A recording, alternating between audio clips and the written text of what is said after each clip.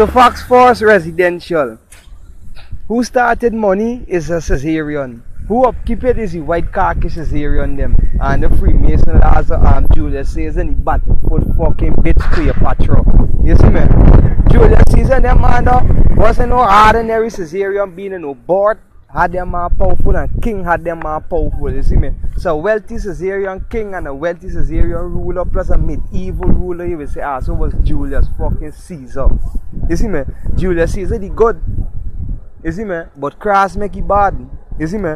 Only body make Julius Caesar bad is the uncaesar Battlefoot wife Cleopatra, you see me? Who used to play that she more evil than any fucking woman in the whole world. So so you saying now? Them Caesarian living like Julius Caesar and the fucking bottom foot bitch Cleopatra, you see me? Yeah, and then all day them a bother with fucking dog and a show in mother's cunt, you see me?